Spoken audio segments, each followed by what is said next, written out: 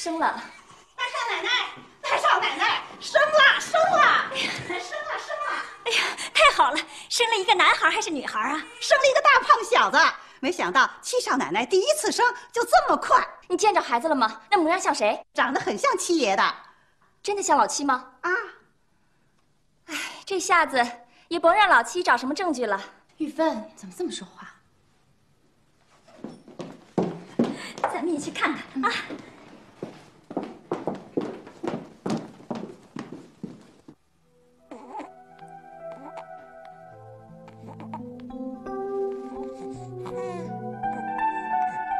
青秋，你受苦了。我只是在想，你为什么不在我身边呢？谁让这小东西来这么突然呢？快看看你的儿子吧。哎，我能碰碰他吗？你是他爸爸，你为什么不能碰他？那碰哪儿啊？你摸摸他的脸。哎，皮肤真好。哟，你怎么这么着急啊？想出来见我呀？啊？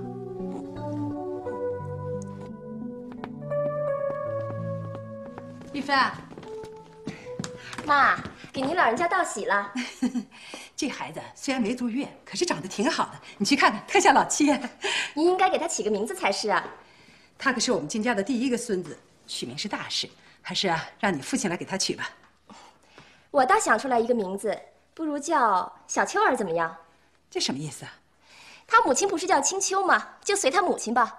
再说这事儿就不用你操心了。为什么不能随我，要随他母亲呢？这话凑巧让你听去了。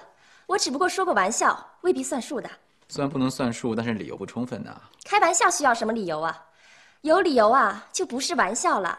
三嫂说话向来是非常深刻的，在今天这样的情况下，说出“笑话”这几个字儿，不会是没有意思吧？再说，还行行，也算我跟你开玩笑的了。哎，哼，走着瞧。孩子真像七爷，尤其那双眼睛还特别小，真可爱。就是。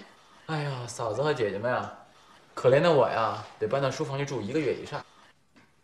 叶希，刚才你跟三嫂在廊子里面说什么呢？啊，没什么，恭喜的话罢了。我都听见了，请你转告三嫂，让她闭上她那张嘴。我冷清就不是她能诋毁得了的。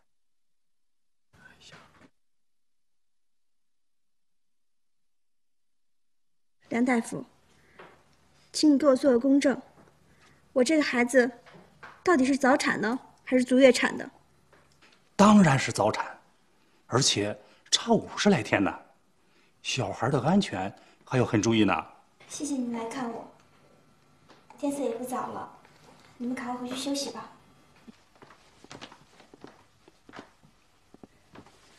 老爷，找我有事啊？人呢？你不是说润之是个好孩子吗？他不会私奔吗？我没想到，他说也不说一声就走了。早就说过，现在背叛家庭、离家出走的青年大有人在，你不听，现在怎么交代？传出去我怎么说？反对我的人正想找茬子，现在可好？我们不断的给人家提供子弹，直到把我打死，你们就甘心了。我没想到事情会这样严重，都是我不好，是我不会教育子女，惹出这么多的麻烦。算了算了，现在说这些有什么用？老爷，老七那边生了个胖小子，你要不要过去看看？孙子，看来。金家还有一件令人高兴的事儿，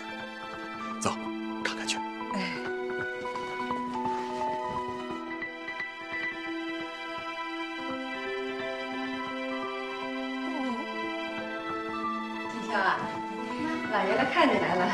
爸，怎么一回事？身子有些不舒服吗？倒没什么病，只是心情不好。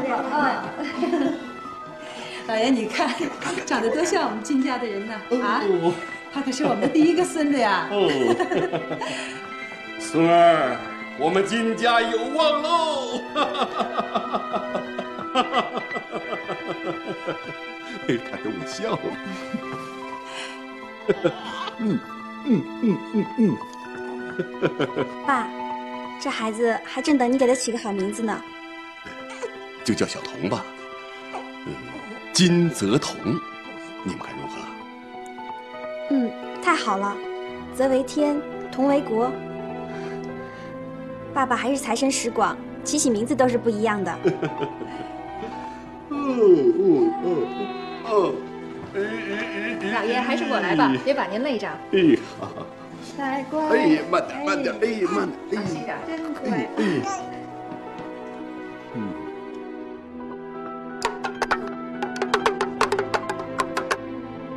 青秋啊，这两天参汤喝了吗？只喝过一回，以后就没喝了。我让燕西别浪费了，不是说让他摆着不动吗？李妈，哎，给少奶奶弄点参汤喝。那是七爷收的，不知道放在哪里了。太太，到书房把他给找来，就说我还有话问他呢。七爷不在家，都十点多了。这个混账东西，真是至死不悟啊！再那么闹下去，怎么了得呀？把他找回来，不许他出去。前几天他是在家的，只是这两日整夜不归也是常事。而且他的事向来不许别人过问，谁要是问了，他会生气的。这么说来，这段时间他的钱花了不少啊。谁知道呢？反正钥匙是放在他那儿，他只管从箱子里拿钱，可不许人家问他这钱做什么了。拿了多少，就更不得而知了。这眼睁睁的就望着这几个人花钱像流水一样，这怎么是好啊？其实他的事，我向来不愿多问。只是养育这孩子的钱，多少也要存一点。要是还是像他这样，逆子。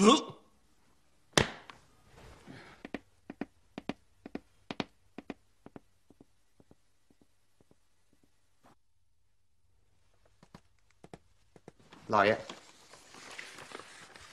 凤举兄弟最近进出时间有什么记载？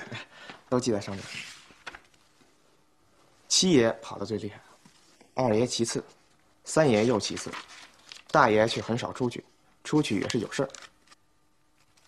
燕西出去，在一些什么地方？七爷去哪儿，怎么会告诉我们下人呢？告诉少爷们，明天都到书房来。是老爷。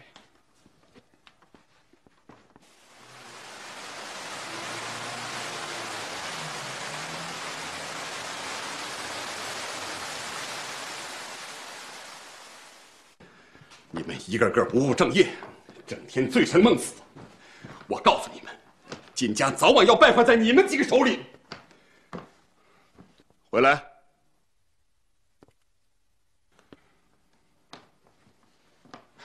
父亲，你也找我有事啊？你拿的什么？和朋友的照片刚洗。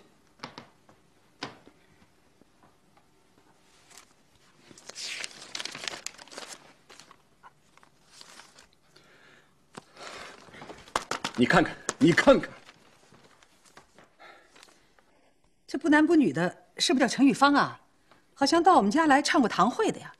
就是这个陈玉芳弄得你丧魂失魄。怎么可能呢，父亲？他是一个男的嘛，跟我们哥几个关系都不错，并且他很有关系的。我找他是为了……这就更荒唐了，老七呀，你怎么就长不大呢？爸，你不用老把我当小孩子看，我已经长大了，而且成家了。成家？可你像个成家的人吗？成家就得立业，可你呢，整天家光知道玩，这样下去怎么得了？我也想立业啊，也想找事儿做呀。可是，您是总理，我是总理的儿子，他们敢吗？敢接受我吗？这怪谁呢？这只能怪你们一个个不争气。整日里花天酒地、吃喝嫖赌，败坏了我金家的名声。我不认为我败坏了金家的名声，父亲，您说什么都可以，但是您说的花天酒地、吃喝嫖赌，我不接受。你还犟嘴？难道我冤枉你们了？我冤枉你们哥几个了吗？啊？你以为你这个国务总理的少爷有花不尽的财源？我告诉你，现在有我这个靠山，你们还可以维持维持。有一天我这靠山没了，你们怎么办？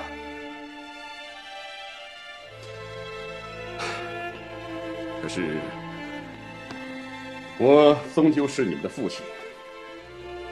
要是你们闹得不可收拾了，人家也会说“子不教，父之过”。不就是和唱戏人拍两张照片吗？至于闹得这样不可收拾吗？等到不可收拾的时候，你就明白了。你和白小姐的事情闹得还小吗？那已经是过去的事了。过去？你过去了，人家敢过去吗？现在有人要造我的反，要把我置于死地，想夺我总理的大权。谁啊，父亲？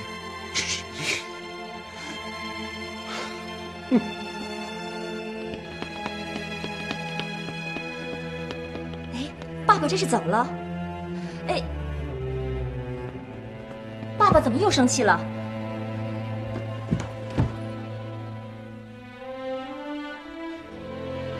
哼凤菊、彭镇、贺村还有燕西，我今天警告你们，少花天酒地的闹。如果再闹下去，我就把你们钱全封存起来，留着你们将来出世的孩子读书用。从今天起，燕西必。